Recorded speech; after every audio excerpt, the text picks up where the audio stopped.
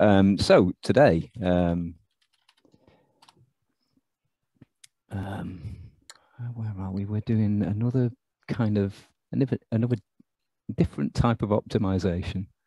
Um, so this is more our focus than the stuff we were doing last week, isn't it? Um, yeah. So how was this chapter, Federica? Um, right. Okay. This chapter is very interesting.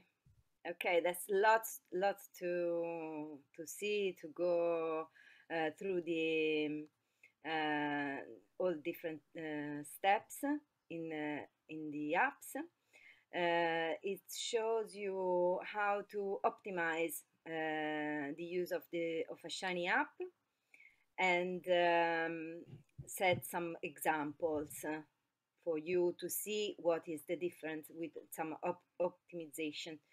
Uh, it's Yeah. pretty intense, so right. I'm not sure. I'm not sure if I'll be able to complete the, this chapter. Uh, so I'm up to. Uh, so the the reading data. I think uh, it's better if we uh, look at it the next time. Okay. Okay. Yeah. Yeah. Sure. Okay. I I share my screen, and then uh, I might need your help Right. within some passages. Okay.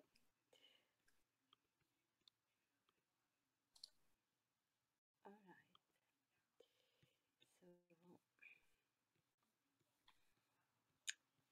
So let's go back to where we were.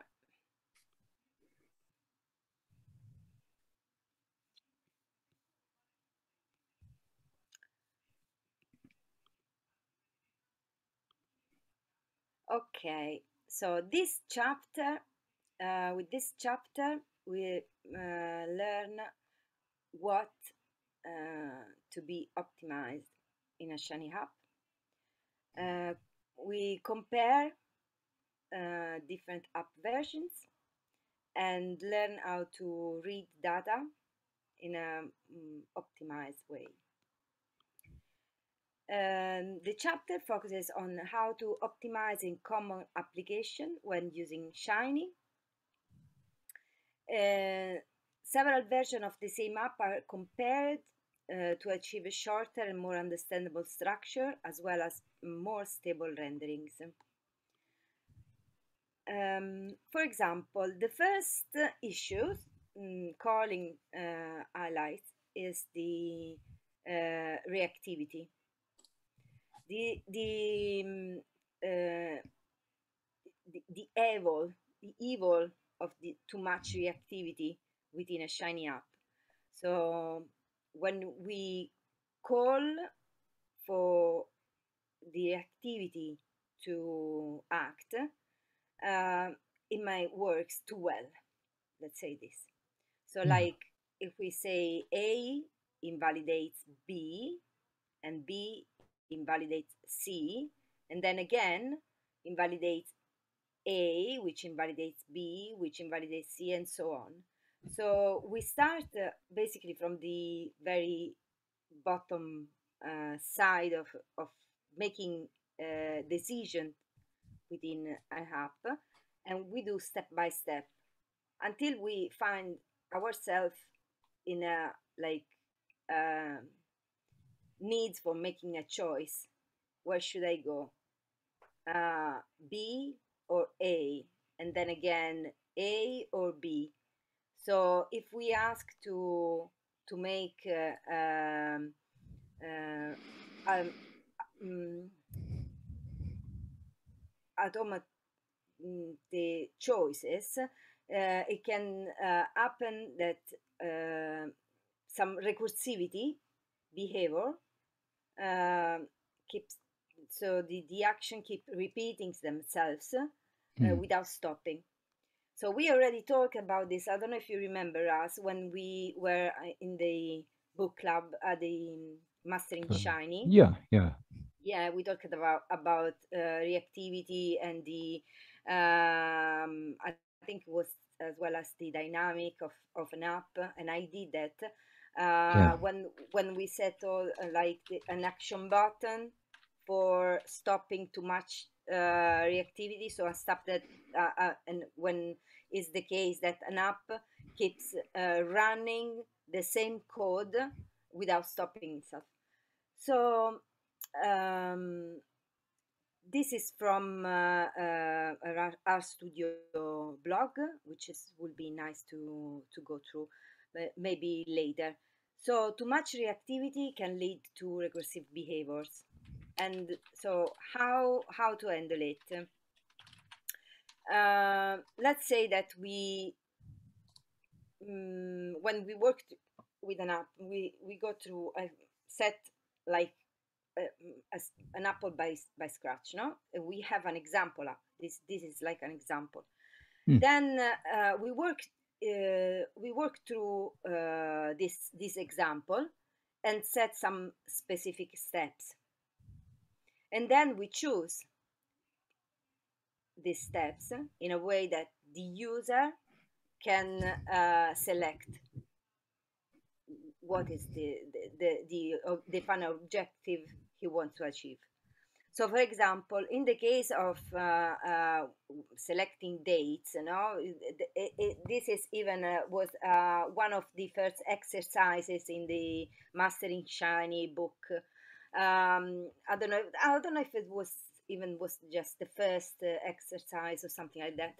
Um, when you needed to make an app and then uh, change um, the the date as the format of the date in a way that uh, the app could uh, update itself when you uh, send an input for a different date uh, without recursivity. Okay, so um, when for in, in in this case study, as an example, we set a date in in in app in a in our Shiny app, and to do this we do date input we use this function and then um, as, as usual when there is an input uh, we select the input. Here is the the first app um, that we see in the example. I'll show you right how is. This okay this is the first the first app no? If i run it. Okay so as you can see hopefully you see no? Uh, it goes by itself mm. run run run without stopping. Okay so we need to stop this behavior of the app because it's, a, it's, it's not what we want. Uh, if we go um, inside the app, we see, and here is the book part of the thing. Okay, we see that uh, this um, this app um, doesn't specify very uh, the, the the the date uh, in a way that uh, the app recognizes that this is a date and some uh, at some point um, in a way that it releases um, appropriately. No, so the um, a suggestion to fix this up uh, is to um, to um, set the select input in a way that you have uh, this is the the first one no. Okay mm-hmm. and this is the second one uh, with the modification uh, as you see here there was a tag list and then the date input um, instead in the um, in in in the, in the app that has been optimized he starts from the date input and then deselect input where before was year, choose a year and the, the choices. Then he set this bit, okay, here choose a year and choices, then select the format of the year. and this is um, uh, something that uh, for for um, the language uh, it lets the um, basically recognize what we are talking about basically. One uh, and this one uh, would be uh, one important step when we use date to uh, set uh, frame the format of the date as we want. This is one of the first uh, base foundation for as optimization when we use date. Then within the server function the server function here is as well as always input, output, and session. And then we have the observer event, input date, uh, update, select input, session, year, and selected year. As you see, here is slightly different. Okay, I hmm. still in inside the observer event the update select input um, is uh, um, below a message uh, within changing year two. Okay. Yeah. Uh, yeah. If I um, then run this up, you see that this is more more um, like stable okay? Uh, and then uh, the uh, where is it?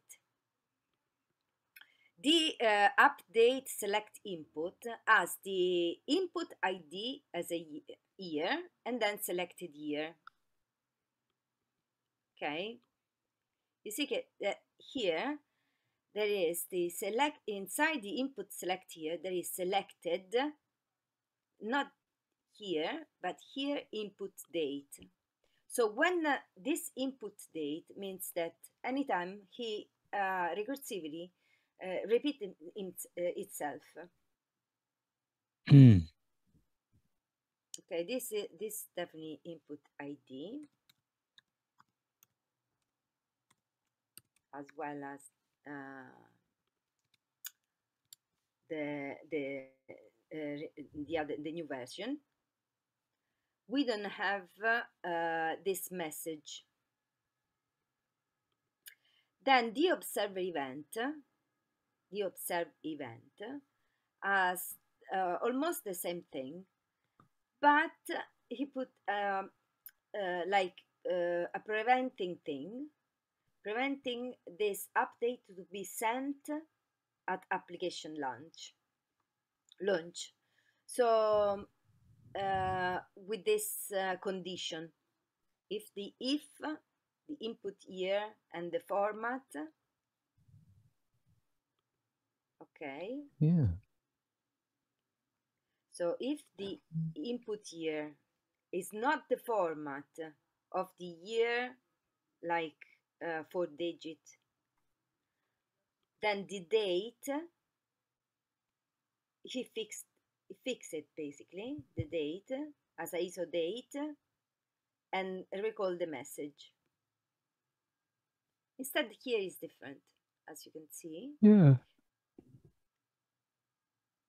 There is this print uh, if uh, sprint f thing which is for setting the date but uh, in um, he uh, doesn't use it because this is a way to set the um, the the date, the structure of the date, but uh, basically doesn't frame it. This is my understanding. So we see our uh, what is the difference running this this app, which is the two. I think.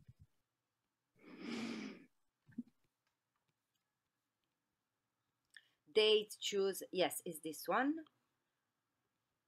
if we run this app, we see that it's not running by itself. Mm. What is happening? Okay, so it's not running by itself. I can make modifications. I can set a new date and then change the year and it changes differently. But it does run run run by itself. So the uh, the changes that uh, that have been made to obtain this uh, uh, resolution of the app which is the one that we wanted because we don't want an app that runs by itself uh, are those ones that I've just mentioned.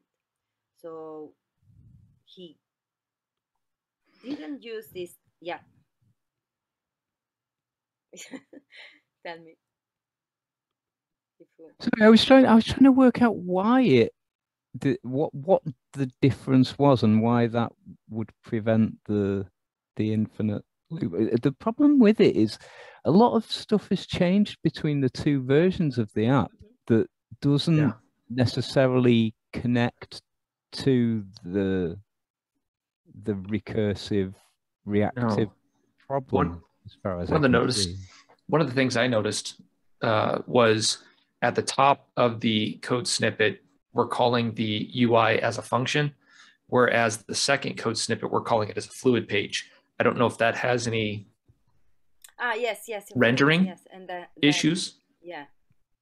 But then I don't know if that's well, I don't know if that's a typo at the bottom where now we're calling server function uh, as as the same. The logic is different, but the the server call is still a function. I don't. Hmm. Is that normal? I, I don't think it's the fluid page. The no fluid page is the like it's a fluid page. It's basically I don't and uh, I'm not sure that um, that, that would be I don't uh, yeah that that's one more difference between between the two apps that's okay. absolutely for for certain but uh, so far um, the things that I understood um, is the for date format that has to be uh, very well defined. And then uh, the, the the message and the this if condition. Yeah yeah. That is the thing that prevents um, yeah. the up, recursive updating uh, that verify within the app. But you know what um, i've made few apps uh, not not uh, still very uh, I'm I'm not feel strong. So I, I think in the future. yeah, it's funny. Better. It's like it, it it kind of explains that um the the date input if you use its kind of default thing it will take the current you know today's date for which the year will be 2021 whereas when he originally set up the year selector it's um it will take the first value in its collection of choices. So it will be 20, 2010 as its initial year. And um, so those two initial values are kind of fighting against each other um, in, in, in some way. Um, and by putting in this if clause, you prevent that um, you know the the so how would it work um if input year is 2010 um, um, beside the, beside the fact that the app can release correct uh, answers or everything, but the, the point is that he has stopped uh, yeah, yeah. doing the recursivity behavior. Yeah. So yeah, yeah. recursive behavior. So um, this, uh, um, I think the UI, um, we will see within the chapter, the UI it's more or less uh, like uh, your choice. So you, you put things inside, but the server is the machine, is the, the engine of the app. Mm. And um, you need to uh, set things uh, properly, appropriately or with some extra features inside the server so in a way that you avoid uh, this recursive behavior when we talk about the uh, dynamics and everything within the Mastering Shiny, we said that uh, uh, we wanted to um, set like a, a, a, button, an action button mm. that would stop that that that uh, behavior. When we do not need a button for stopping this behavior, we need to put it something inside uh, the app that will uh, let the app uh, stop itself when when it's not needed or don't even start because yeah. um, the thing is that I I see that I think the, the, the beginning is always the most important part of, of everything. so if we understand this, maybe the rest will be uh, smoother. Uh, when if we see the server here, we have um, an observed event okay the function the observed event the input date then the year which is outside this format this bit here is outside the update select input okay instead yeah. here is everything inside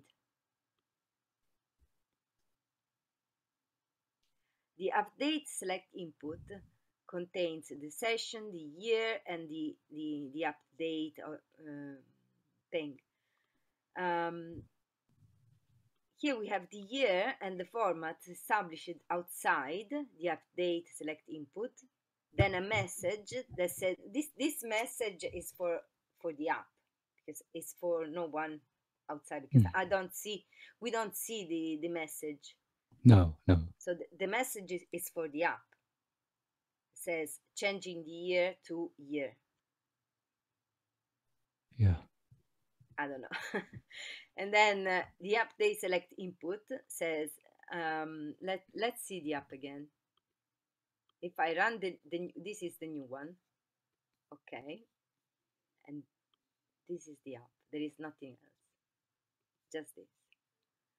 I have this uh, and set uh, like to the 1st of June 2021 then I changed it to 2015 and it uh, reset everything to the 1st of January. Then I got 2020 1st of January then I set the date to a different so like, like I choose the year and then because you know it takes too long no Mm. I want to to switch to another year, takes too long. So I can switch within months and then select a day. But then if I want to, like, I want to to to set a date uh, which is far away in time. I need to to do.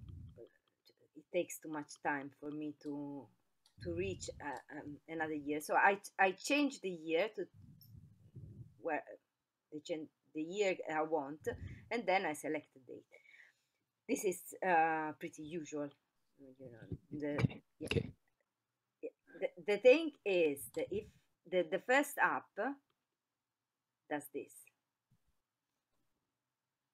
Mm. Because it's inside. The thing is inside. Okay. Uh, um, okay, let's go uh, forward. So we have seen this. There's more. Okay. Um, we have seen the, the example uno, uh, sorry, example one and the example two.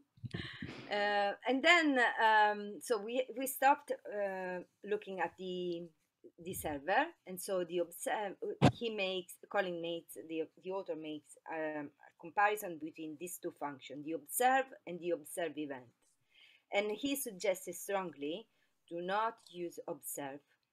So mm-hmm. the main guideline is to use observe event as much as possible and avoid observe as much as possible. Even if he uses within some examples to show you what uh, what does and what is the difference. So looking at the steps uh, taken for building this first example up, we see that changing the next input doesn't make any difference.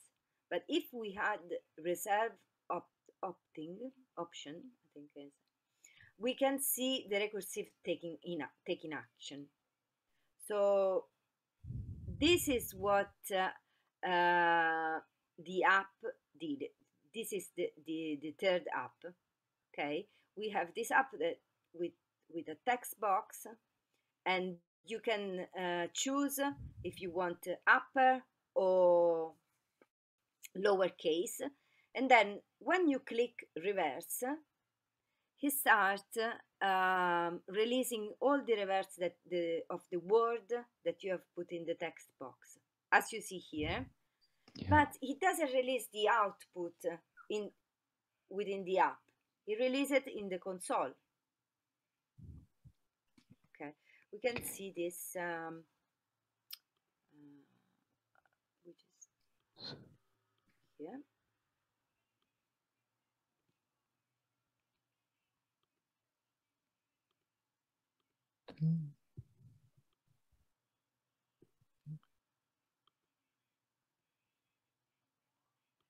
Okay. I um, don't know if you can see my console. Okay. Okay. So this is uh, the, this is the app. If I say hello, he writes here in the console. Then uppercase and he writes in uppercase. When I do reverse, he starts doing that thing. It doesn't stop.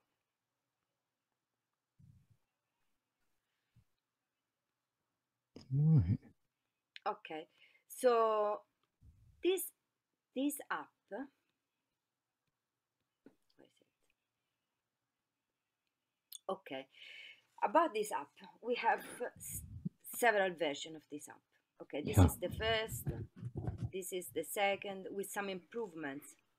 This is the third, and this is the fourth, and I think is enough yeah then here he highlights some rules some some things that uh, will be better if we use the observe event instead just the observe. And we see this uh, more clearly. Uh, just I, I wanted to to catch the differences within the if if we like to uh, uh, we see that uh, some differences this is the first one and uh, the, this one here that doesn't stop.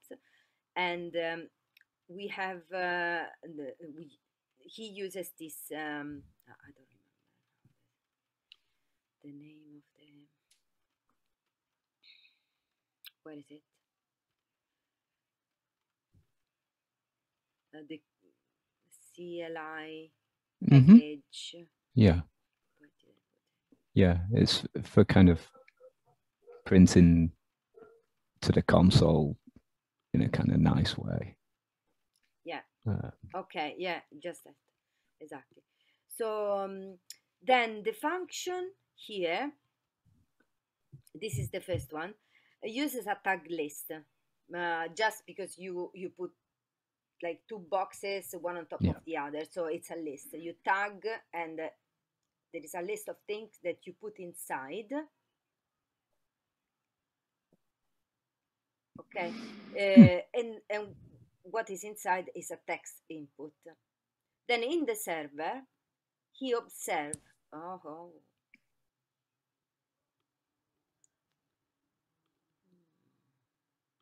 okay.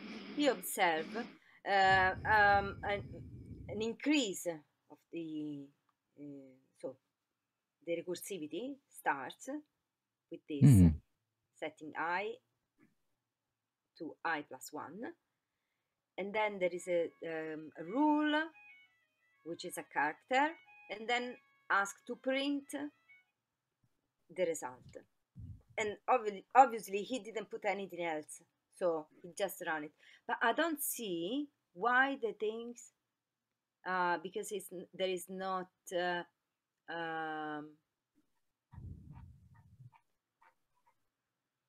Yeah, there's no. It, it, so that's the initial version of it. Yeah. Yeah. The se- the second one, the second the second one, still a tag list, but then the text input is followed by a select input. Mm.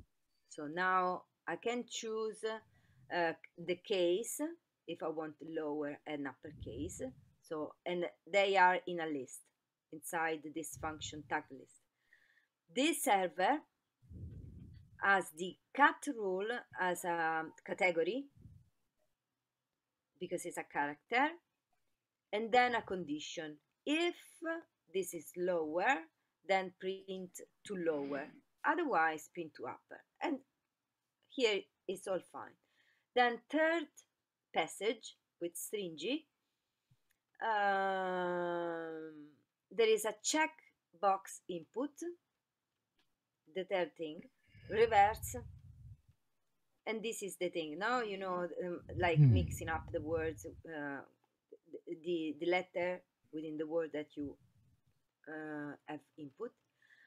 The um, okay within the server there is the input text that we didn't have. We don't have an input text in the server.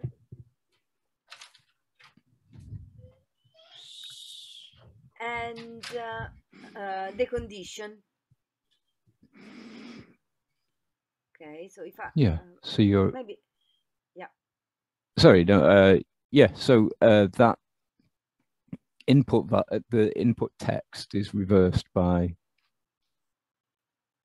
it is reversed and be, because it's reversed and that observe block um, depends upon it kind of so you you're up you're updating a value based on changes in that value. So you kind of um yeah okay yeah sorry i follow yeah Yeah, uh, so you uh, um, set the input as the text and, and name it as an input text. Then you set the condition as we did it before. If input case, folding, uh, whatever. Now the input, the, the condition is input um, rev because it's the reverse the word use a stringi i think is uh, reverse input and then the case folding uh, condition is um, after that because the, the position of the the thing even the things is even important so then we see the last, the, the fourth version, which is the the final one, I think. Yeah. So here, besides the, the UI, which is the same, and we finally have settled the things that we have a text box, uh, the case folding, and the, the checkbox for the reverse. In the server, he set a reactive value. Okay, this reactive value is the thing that makes um, the app running yeah uh, in recursivity, you know, because it reacts to an input. yeah yeah yeah So you need to put a stop yeah to this reactive. So the observe is still the same, but uh, there is this bit here, like the reactive value R linked to the input text. So the input text continues reacting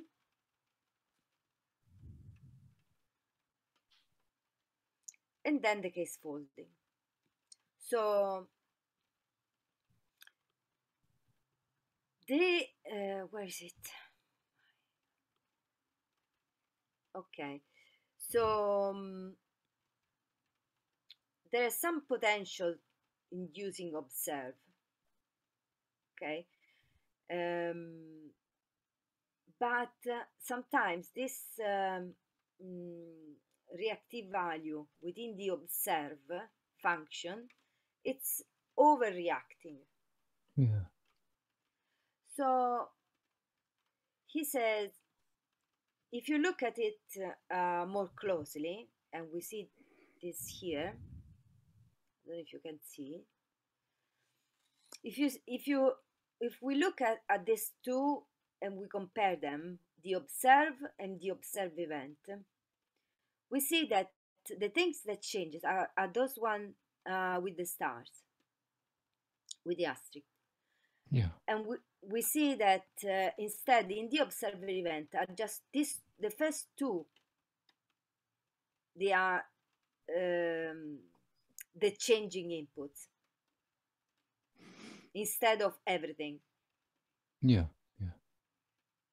So here basically the, the first um, input affect all the other um, syntax in the in the observe function in the observe event he observe an event which is this bit and then um, goes through I, I'm, I'm not sure if if it that's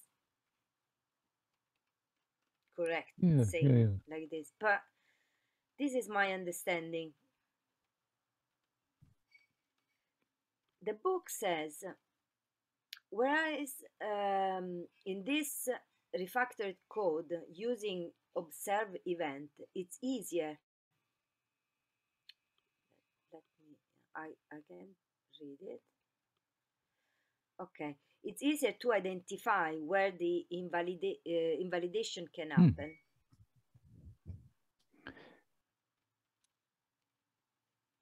It does. It, it does look a lot nicer, at least, to to have the um the the values upon which the event is triggered at the very start of the block to kind of um and then yeah it it just neat it neatens up the code but i didn't realize it was so uh I that- see that this is the same cut rule if Yeah. else if print else and print but he adds these two things on top which are the events Hmm. the function observe So in essence, you're setting those values first before entering the the actual function or the logic uh, if else statement, then right, or the iterator. So your your input rev and input text, input reverse and input text are could be considered global to the function itself. So the server is going to set those values based on the input from the user before entering into the iterator and or the if else statements. So you're you're you're waiting for the event to change before the rest of the logic. You don't trigger it until it invalidates, correct? Am I reading that observe event correctly? i believe so i guess so um oops sorry what so this is why he emphasize uh, the things that it's better if you use observe event as much as all the time as well as do not use observe as much all the time. Sure. Okay, so then we can uh, we sh- so when when you build an app, you look at it as needed. So then uh, um, he set more um, like features inside the app, which are triggers and watchers for optim- um, as optimizations steps. So create flags uh, create flag object with an init function and then trig these flags with trigger function invalidate the, this flag to a reactive context uh, with watch these flags so to solve this kind of issues Colin Fay provides a package which is uh, a gargoyle package that provides wrappers around Shiny to turn up uh, your app into an event-based application instead of a full reactive app. Right. This uh, package, which is this, uh,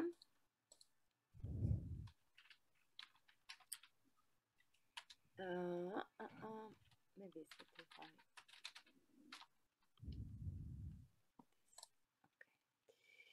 So this gargoyle, I don't know, Mm. yeah. So it's a package that provides wrappers around Shiny to turn your app into an event-based application instead of a full reactive app. The framework is centered around listen and trigger mechanisms. It works with classical UI and just need tweaking the server side of your app. Uh, some examples we can see this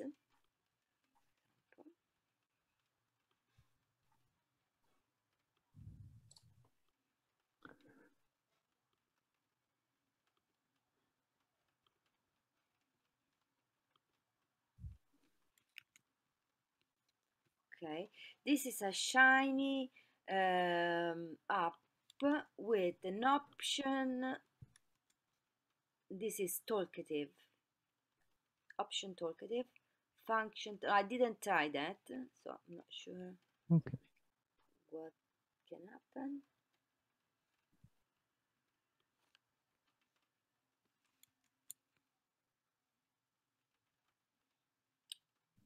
Ooh.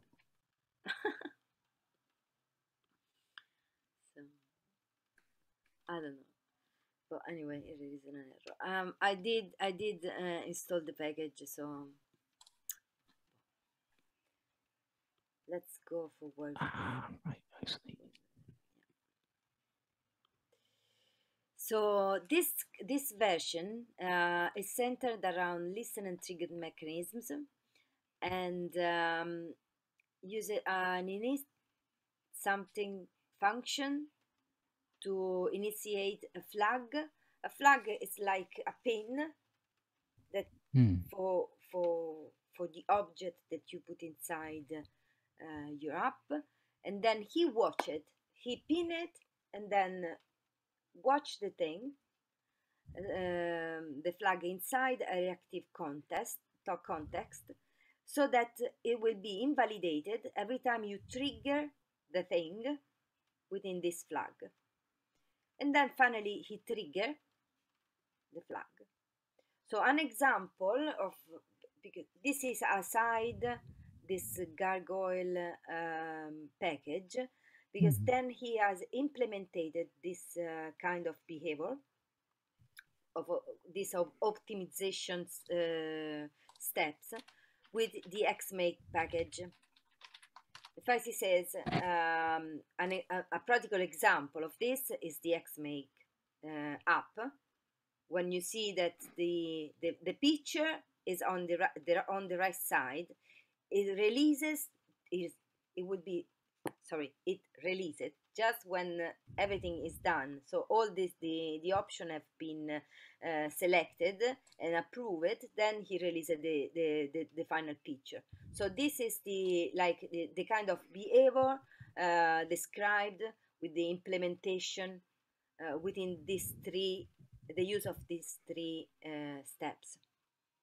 A practical example of this again of this implementation uh, is um, the use of um, of a special environment okay where you store the values and um, he now uh, talks about uh, the R6 data uh, data storage. I don't know if you are you know you are aware about this um, object-oriented programming framework,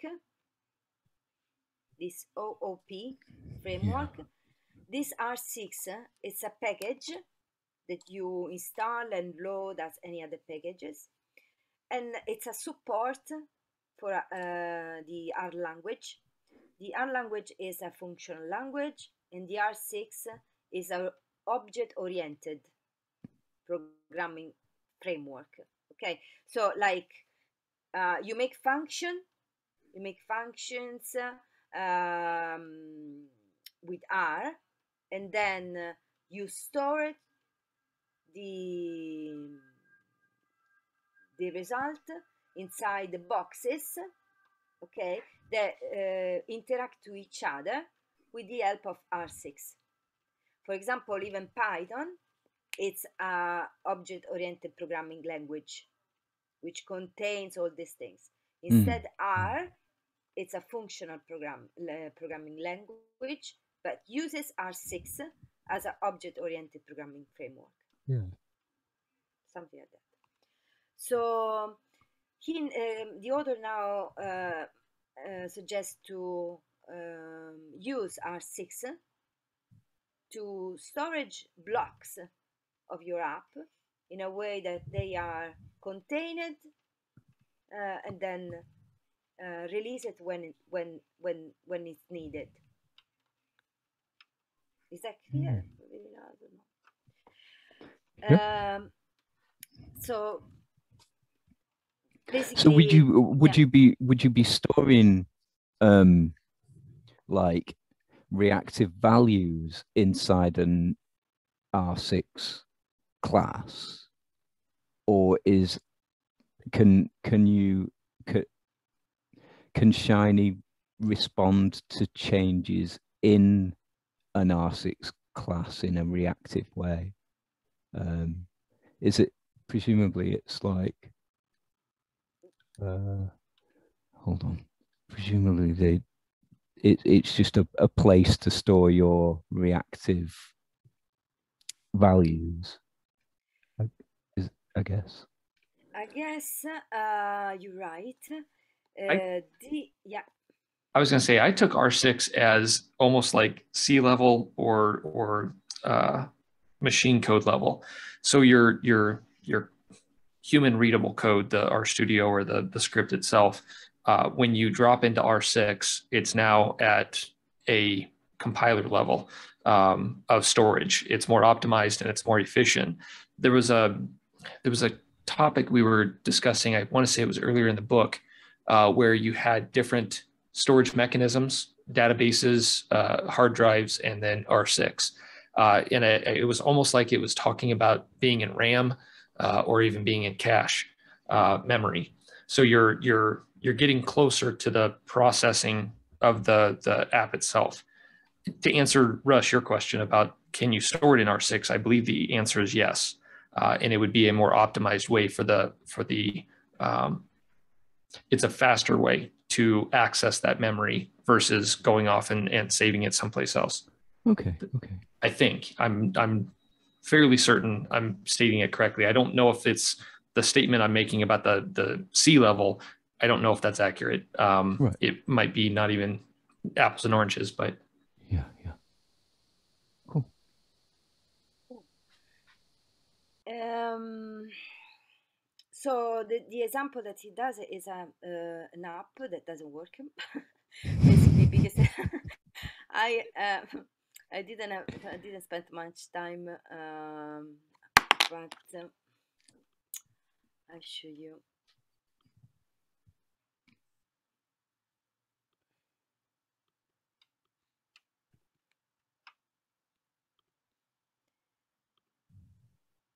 Okay.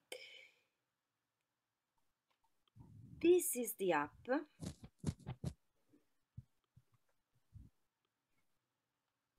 It's, it's quite long. Yeah, yeah.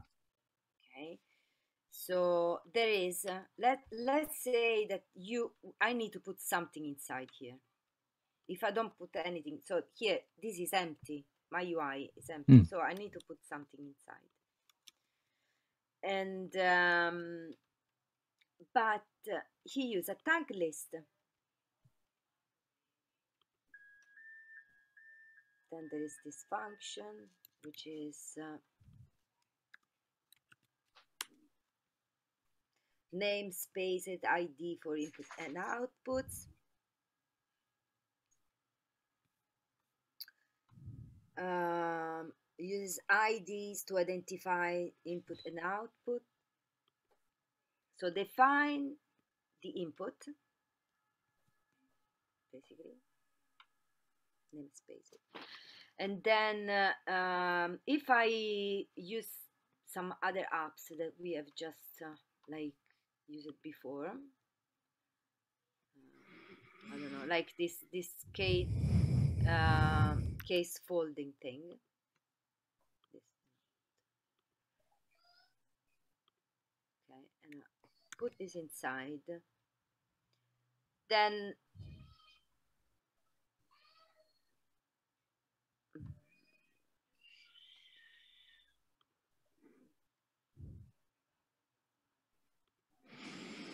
I, I need this thing.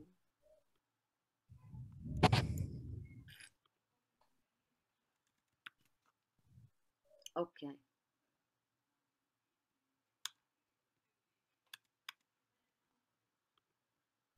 Mm. Okay, so this is uh, just as an example, okay? Uh, I, uh, this is not correct. Okay, so um, this is my data cleaning UI. So I'm supposed to put something inside, like um, data frame to be cleaned. Then my data cleaning server works with some, um, there is a, a, module server, an observe event, um, all these things here, and then even trigger a plot. I'm, I'm, I don't, I'm not using that, but I just repeat this again here with this uh, UI.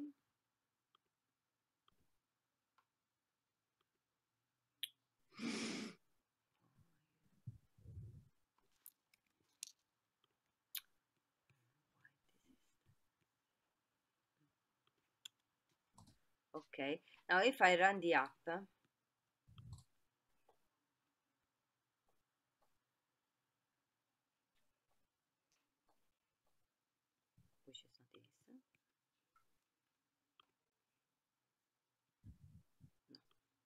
okay let's let's uh,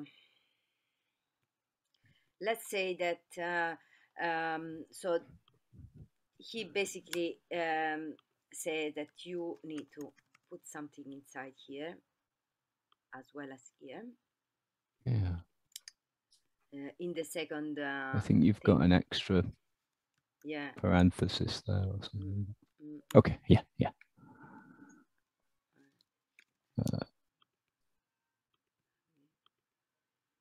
Okay. Uh, if I if I run this doesn't work but the thing is that when you put something inside here um, you just add something in the UI okay and not it doesn't require anything else uh, in the server yeah. but uh, uh, this app is made like you have a data cleaning UI a data cleaning server and then a plotting UI, a plotting server, and these are two separate things. And then he starts with the UI function. When he recall the two UI above, the data cleaning and the plotting, and uses the server some more complex app with R6. So he says that this is R6, but then he calling R6 this way with this my data processing that he has made. Where is it? Here. Okay, so he does set this thing, my data, this way. So this is the box where you put inside the thing.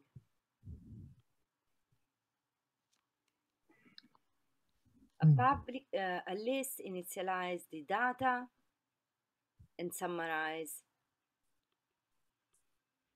the information. Then this would be used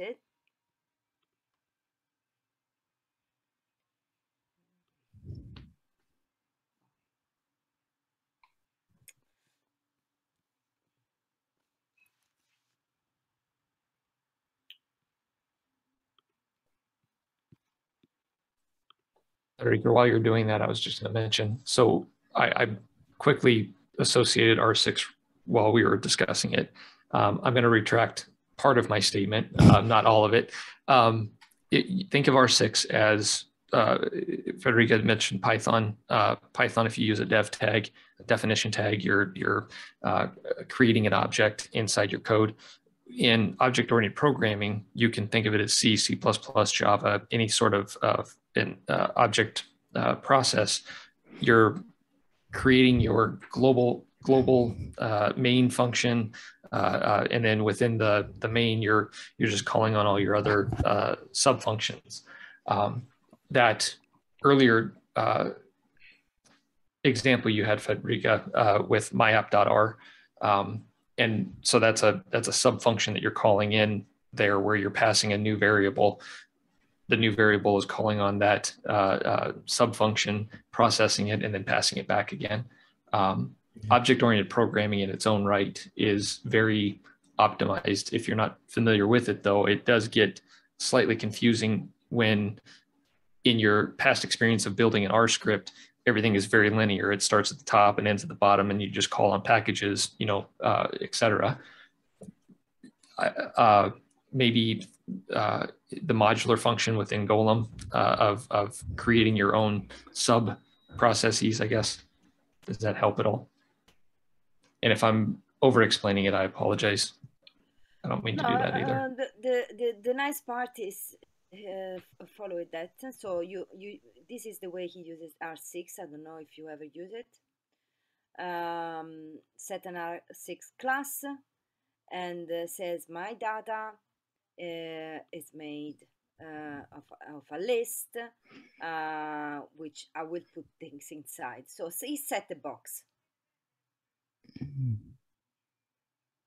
Is that correct? They're class functions, yes. Uh, uh, so your your class, um, you're creating that or initializing that memory space for that function to pass uh, data in and out of it as needed. And when it's it looks similar to base R working with variables where you're using the dollar sign. within that R class, the dollar sign is pointing at that memory location of where that variable, stored initialized variable, um, you're allocating memory space to your program.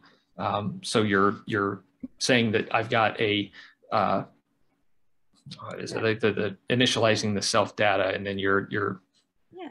Then then you you just recall the the, the, the data. In fact, if when you run the app, he says, "I miss my data. I miss my data." Okay, so um, then you use this to test, and this is the nice part because he, he runs the test on an example data like mtcars and says this is the test function, test that, test an R6 class works and says my data is my data as before, you see, this, this box that he has made. Okay, he recalled the box and says my data new data that I add the data empty cars and then said I expect this my data is my data okay that my data is an R6 class and then my data uh, when summarize it's a table class and my data and the data of my data is mtcars. Okay, and then I expect that the summarize of my data is a summaries of mtcars and this test pass. So right. this is nice, very clear.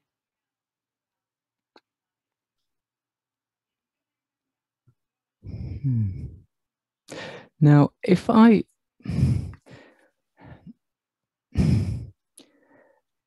if I handed over a Shiny app that to to a colleague to to work on that was based on R6 classes and trigger and watch and things like that, the the the whole design of the app would be quite foreign to someone who's worked with reactive values and you know the the, the more typical shiny app thought process. So I'm, i don't know i'm a bit worried that that that now well russ you're stating it correctly i would only add that unless that person is familiar with a, a, a foundational learning of Java, C, or C++, mm. yeah, then it would then it would look somewhat familiar to them. Uh, the the scripting of what you're doing yeah. in that in that format would look familiar to to their uh, uh, okay okay learning. Right. Um.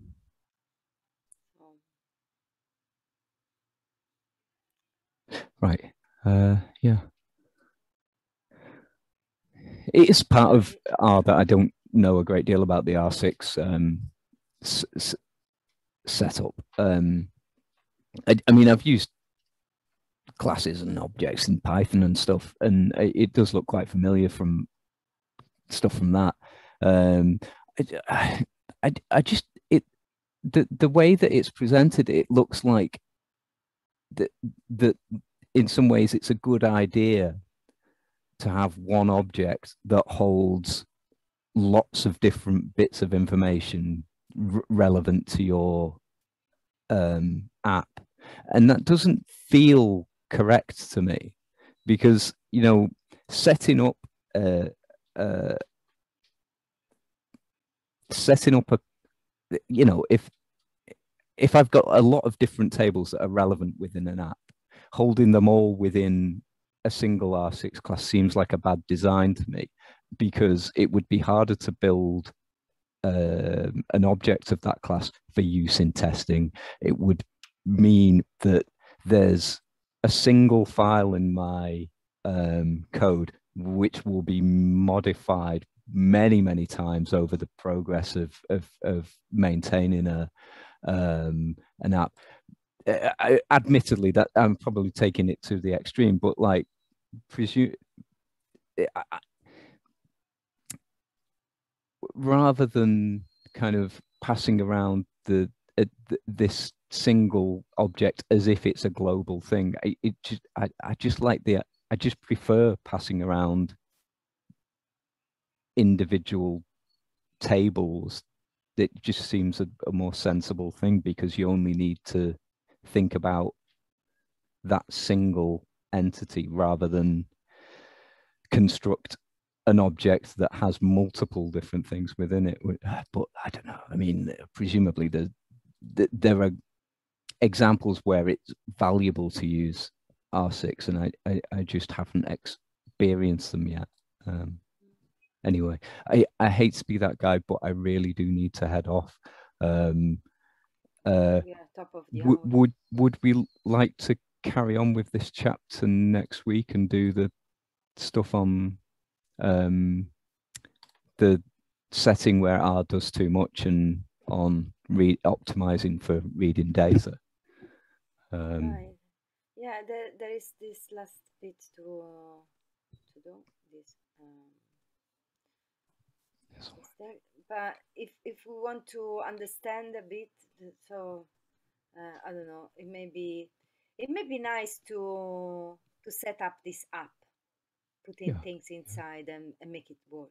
Uh, I'm not uh, not sure. Um,